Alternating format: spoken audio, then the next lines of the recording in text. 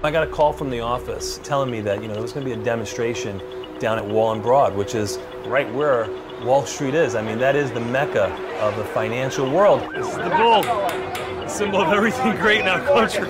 You can't get it, you can't get any closer to Wall Street, and they are uh, they are here in mass.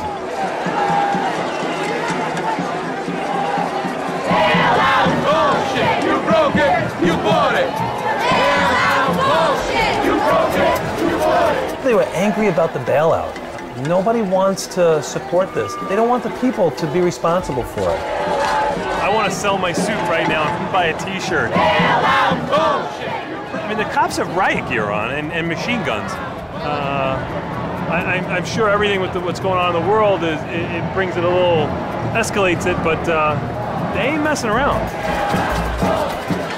I wanted to see what was going to go on. What were they going to do to Wall Street? What did the people have to say?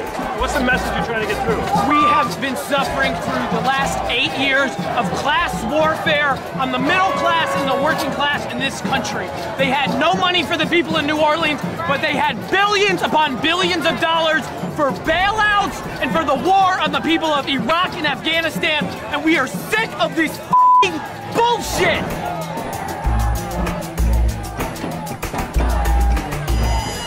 You can't afford health care, but you can't afford a $700 billion bailout?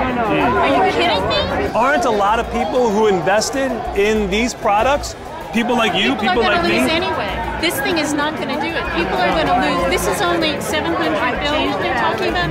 They're, they're, the losses are in the trillions. They're angry with the banks. They're angry with the oil companies. Everybody's angry at everybody. But what are we going to do? Let's come up with a solution.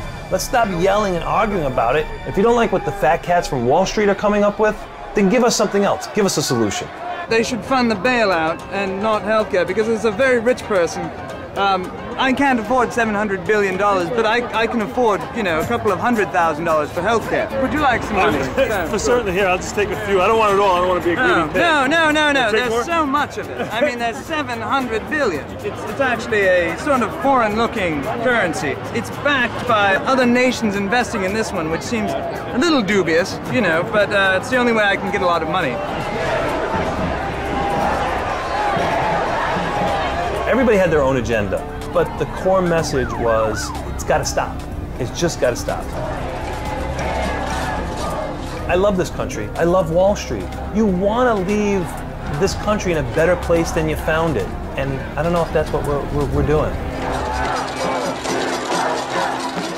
The demonstration has actually moved from where it started out to right here, uh, right outside of our office, because we're right outside of the New York Stock Exchange. You can actually, you know, if you stay quiet a little bit, you can kind of hear the chanting. And I think there's probably six, seven hundred people outside right now. A lot of angry Main Streeters. We just opened up the windows and it's crazy out there. Wow, this is insane. They're going crazy.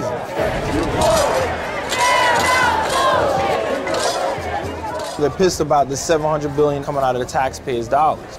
No one feels that they should be bailing out these big banks that default You know what? and defrauded everyone. People are not happy because at the end of the day, they're gonna have to pay for this. Yeah, basically what they're saying is, you know, you broke the financial system. You know, you go into a store, you break something, you bought it.